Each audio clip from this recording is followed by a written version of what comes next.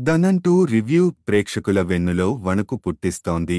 Movie ఒక రేంజ్కి వచ్చిన తర్వాత వాళ్ళకి యొక్క ప్రవర్తన అనుకున్నంత హార పుట్టించవు.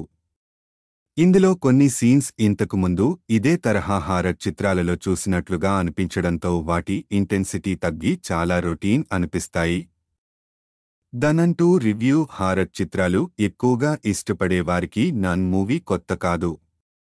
సినిమా థియేటర్లో ఏ మూవీ చూస్తూ ఉంటే హార్ట్ బీట్ పందెపు గుర్రంలా పరిగెత్తాల్సిందే?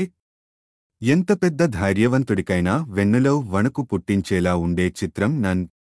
ఇప్పుడు ఈ మూవీ సీక్వెల్గా వచ్చిన నన్ రెండు చిత్రం ఎలా ఉందంటే వరద నీరు పారేటప్పుడు రిజర్వాయర్ గేట్లు ఎత్తేస్తే నీటి ఉధృతి ఏ రకంగా ఉంటుందో ఈ సినిమా హాల్లో కూర్చున్న వారి భయం ఉద్ధృతి ఆ రకంగా ఉంటుంది.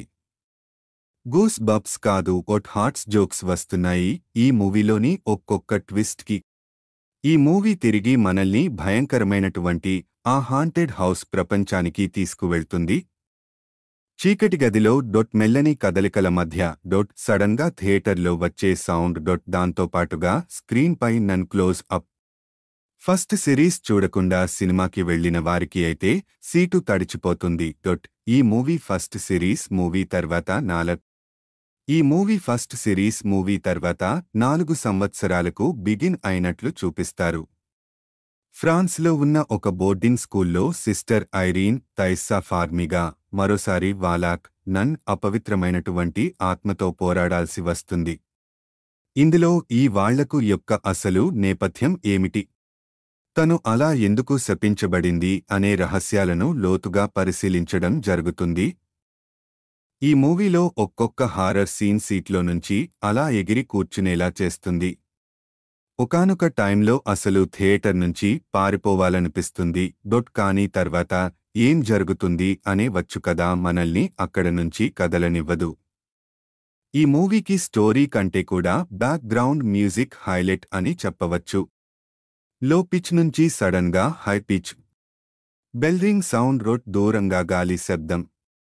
ఇలా ఒక్కొక్క సౌండ్ బ్యాక్గ్రౌండ్లో వస్తూ ఉంటే మన హార్ట్ బీట్ సౌండ్ మన చెవుల్లో వినిపిస్తూ ఉంటుంది. డొట్ కానీ మూవీ ఒక రేంజ్కి వచ్చిన తర్వాత వాళ్ళకి యొక్క ప్రవర్తన అను కానీ మూవీ ఒక రేంజ్కి వచ్చిన తర్వాత వాళ్ళకి యొక్క ప్రవర్తన అనుకున్నంత హారర్ పుట్టించవు.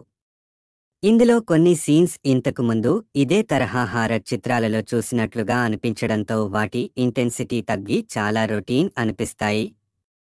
సినిమా ఎండింగ్కి వచ్చేటప్పటికీ కాస్త క్లైమాక్స్ హడావిడిగా పూర్తి చేశారు అన్న భావన కలుగుతుంది. ఇందులో నటించిన ప్రతి ఒక్క యాక్టర్ తమ రోల్స్కు తమ వంతు న్యాయం చేశారు.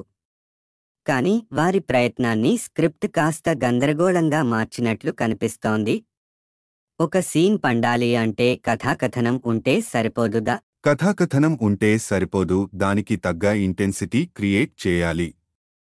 ఆ చిన్న పాయింట్ కొన్ని సీన్స్లో మిస్ అయినట్లు కనిపిస్తుంది. డొట్ రేటింగ్ మూడు బై ఐదు.